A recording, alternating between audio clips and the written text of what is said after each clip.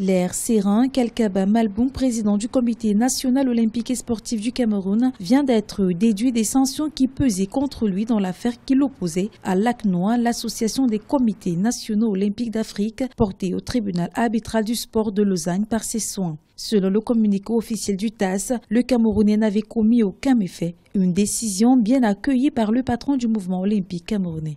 Euh, j'avais toujours, dès le départ, pensé que euh, je n'ai commis aucune faute et que j'avais été euh, sanctionné arbitrairement. Parce que pour prendre des sanctions, il faut au préalable au moins mener une enquête, euh, chose qui n'avait été faite. J'ai été privé aussi euh, de, de toutes les voies de recours.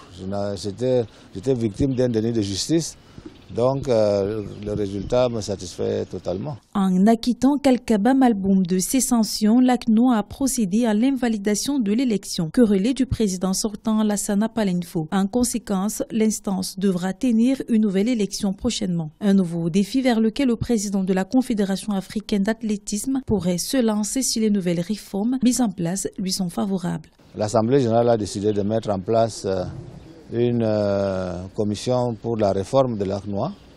En quoi consiste cette réforme euh, Je ne sais pas euh, quelles sont les nouvelles conditions pour être candidat.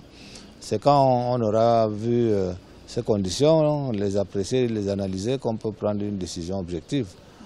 aller ou ne pas aller selon les conditions qui seront en place. En rappel, la candidature de Kalkaba Malboum pour le poste de président de l'ACNOA avait été suspendue au motif que les autorités camerounaises lui auraient apporté leur soutien, ce qui serait contraire aux règles électorales de l'ACNOA. La décision du tribunal arbitral du sport vient ainsi mettre fin à près de 12 mois de bataille juridique entre le Camerounais et l'ACNOA.